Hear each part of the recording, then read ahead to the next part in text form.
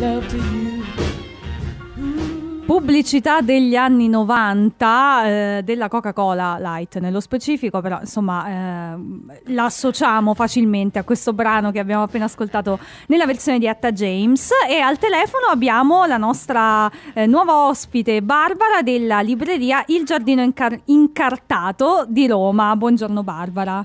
Buongiorno a voi. Intanto uno dei premi per i miglior eh, nomi di libreria di sempre, credo, perché è veramente meraviglioso.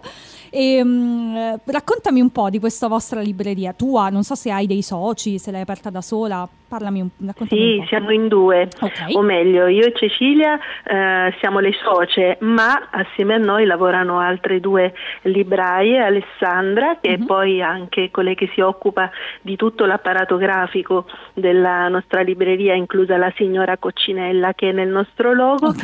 e Carla, Carla Colussi, che è una esperta contastoria e libraia quando abbiamo bisogno di un sostegno Ok. in eh, libreria. Ok.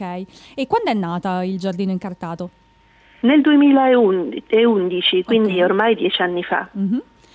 e eravamo eh, in cerca di mh, dar, dar corpo a delle idee, un entusiasmo eh, un, po', un po' all'inizio difficile, i primi passi e in realtà poi il quartiere in cui la libreria si radica, che è il Pigneto a Mhm. Roma, eh, ci ha risposto con grandissimo entusiasmo, per cui eh, devo dire che è veramente bello lavorare in libreria qui da noi al Giardino Incartato. Siete una libreria soprattutto, immagino, per bambini e ragazzi?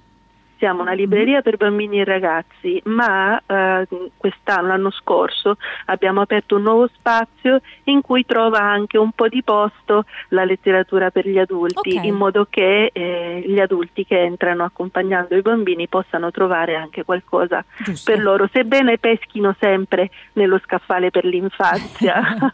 Sappiamo che gli albi illustrati fanno, hanno veramente grande successo anche tra gli adulti, giustamente, perché insomma non hanno età, secondo me. Cioè, sa- ci sono delle cose talmente belle che non, non si possono Sì. definire solo per bambini. E quali sono le, le vostre cinque scelte? Allora, noi abbiamo pensato di raccontarvi i cinque libri che ehm, hanno avuto più successo Mhm. eh, lo scorso anno da noi in libreria. Sicuramente eh, inizierei con un romanzo che è di Davide Morosinotto che si chiama La più grande, è una storia straordinaria, un'avventura con un po' di eh, magia, eh, di- con protagonista una piratessa, Ok. una piratessa nella Cina del 1700. Poi c'è stato un fumetto, eh, Daisy, di Lorenza Di Sepio e Marco Barretta, edito da Tounouet, che abbiamo presentato nel corso del nostro festival, perché noi organizziamo a settembre un festival che si chiama Ucci Ucci, se ti trovo ti leggo. E da allora, da quando i bambini l'hanno scoperto, in quell'occasione eh, ha avuto un successo straordinario tra di loro. Eh, poi una prima lettura eh, destinata quindi a bambini che incominciano ad approcciarsi col libro e che cercano qualcosa da leggere che abbia già la forma del libro per più grandi, ma un po' traccia dell'albo illustrato che hanno amato fino a pochi, pochi istanti prima. Lupo Grigio è diventato blu, uno spassosissimo libro di Ronan Badel, edito da Harper e Collins. Poi c'è stato Quando arrivi il Natale, che è un libro che io ho scritto assieme a Serena Mabilia, edito da Lupo Guido e che ha avuto un riscontro davvero gratificante, è stato bellissimo, è una storia di realismo che mh, del Natale ha solo l'atmosfera e in realtà perché è una storia di grande amicizia ed avventura. Poi c'è Manco per sogno di Beatrice Alemagna che è un albo invece con protagonista una pipistrella, una pipistrella 3N direi, eh, molto briosa, dal carattere eh, ar- argenteo, friccicarello si direbbe a Roma, che eh, manco per sogno vuole andare a scuola. Ecco. Ok, ok, molto belli, molto carini. Tra l'altro mi fanno notare giustamente che siamo molto vicini di casa perché noi siamo in zona Preneste, largo Preneste, quindi in realtà ah, siamo a due eh, passi, siamo, vi aspettiamo. Siamo molto vicini, è vero. Eh, vi verremo a trovare, spesso ci capita appunto di parlare con librerie di tutta Italia e avere questa voglia di andare, invece voi che siete qua vicino mm, verremo sicuramente Potete a fare realizzarla. una gita, sì. certo. Grazie mille Barbara, la canzone che hai scelto mi ha reso molto molto felice, intanto perché è una delle mie canzoni preferite di sempre, e uh, proprio la adoro, eh, e poi perché appunto eh, tu giustamente l'hai scelta per un motivo anche bello, eh, commovente. Qual è questa canzone e qual è il motivo? È un omaggio a Ronnie delle Ronette sì. che purtroppo ci ha lasciato eh, qualche giorno il fa. Il 12 gennaio, sì, poco tempo sì, fa. Sì, eh, la canzone è Be My Baby, eh, l'abbiamo scelta anche per il brio, eh, il, tono, il tono avvolgente, ecco. Grazie mille Barbara, il giardino Grazie incartato di Roma, zona Pigneto e a presto allora. A presto, Ciao, buon lavoro. Grazie. Che pezzo incredibile è questo, cioè veramente io ogni volta ballo come una pazza, tra l'altro mi ricorda anche uno dei miei film preferiti di sempre che è Dirty Dancing, quindi Barbara mi ha fatto molto felice con questa scelta. E abbiamo al telefono Piero della libreria La Stanza di Carta, ci spostiamo da Roma e andiamo a Palermo. Buongiorno Piero. Buongiorno. Intanto grazie per aver anche tu accettato questo, questo, invito e raccontaci un po' la storia della stanza di carta, portaci dentro la tua libreria.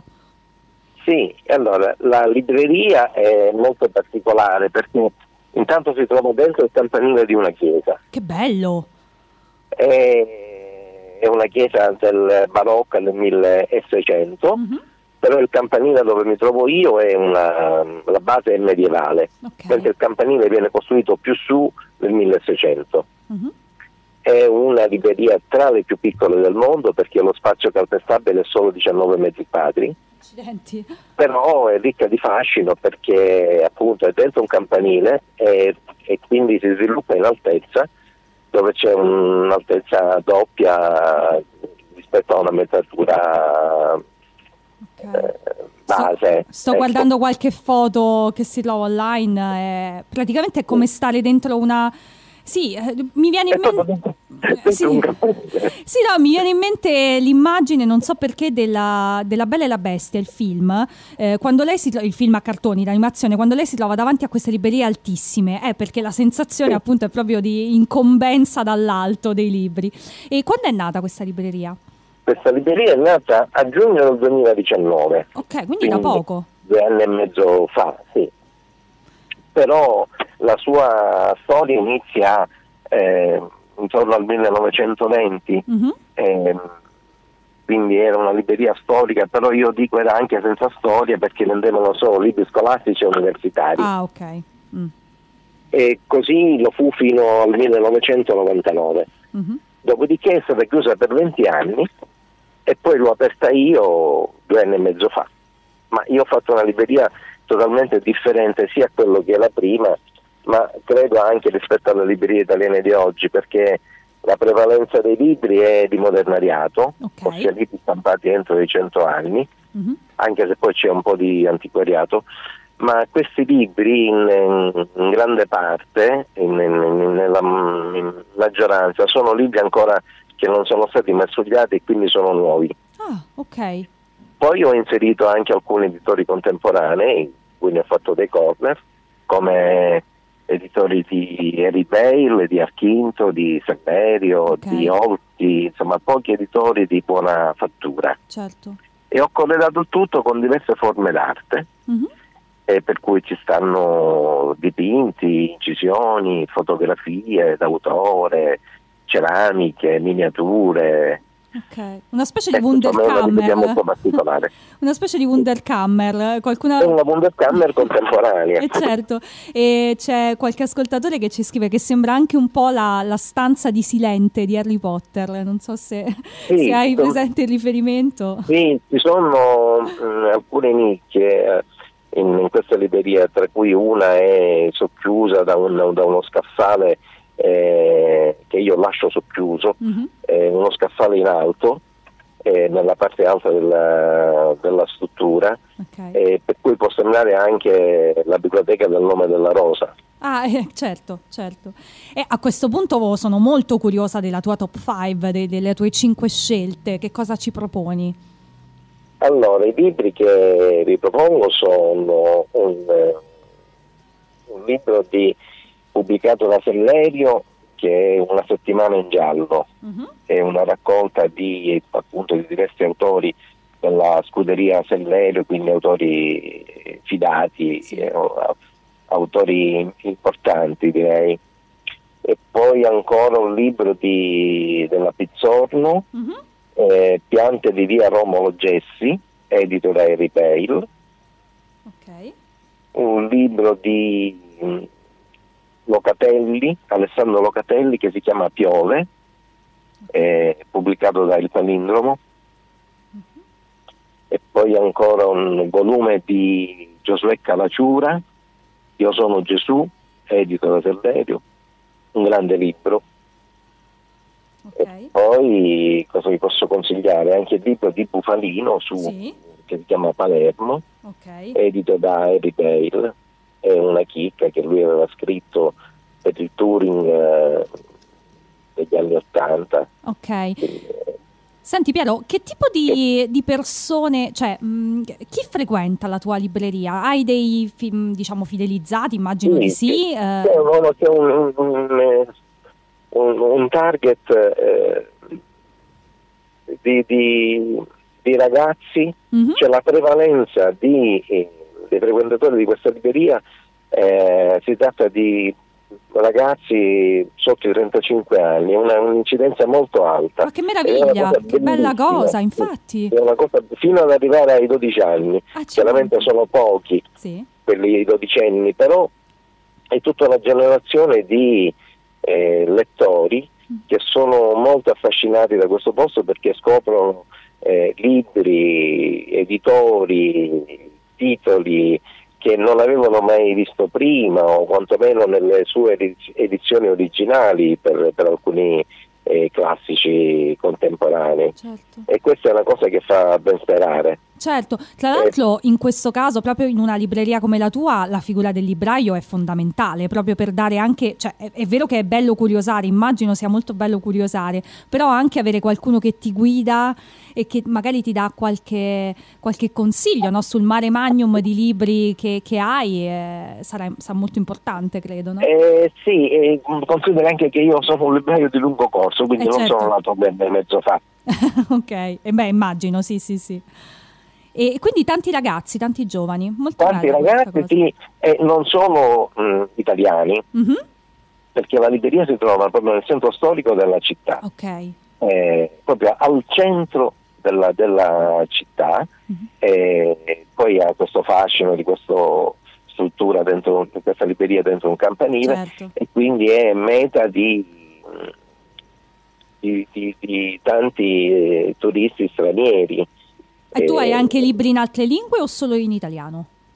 Sì, in, eh, soprattutto in inglese e in, in, francese. Ok, ma dove li prendi? Questa è una curiosità, perché giustamente tu hai detto alcuni non sono mai neanche stati, cioè non sono... Mm, eh, li ho recuperati attraverso biblioteche di privati, ah, okay. di persone che hanno comprato libri, li hanno messi negli scaffali e non li hanno mai letti. Ok, ok. Beh, interessante, insomma, anche, e tu co- continui ovviamente tuttora in quest'opera di raccolta, immagino. Di, certo, di... sì, continuo. E qualcuno te li porta anche, immagino. Eh, certo, qualcuno me l'ha anche regalato qualche libro okay. perché vedono questa libreria particolare, però certamente molti li ho acquistati. Acquistati, certo. Grazie mille Piero di averci portato in questo posto veramente incredibile che sono molto curiosa di vedere dal vivo, eh, spero insomma sì. di avere la, la possibilità il prima, il prima possibile e mh, la tua scelta musicale è anche questa diciamo molto evocativa perché si tratta di uh, Deep in a Dream di Chet Baker, come mai l'hai scelta? Baker, sì. Come mai l'hai scelta? Perché amo tutta la musica, eh, ovviamente il jazz eh, in maniera più forte uh-huh. e Chet Baker secondo me è stato uno dei musicisti più grandi nel, nell'ambito del jazz. Ok. C'è la musica nella tua libreria? Cioè la, sì, la, la tieni? Ok. Sì, sì, è una colonna sonora continua. Ok, grazie mille Piero, la stanza grazie di carta di Palermo. A presto grazie, allora. Ciao. Grazie. down exists.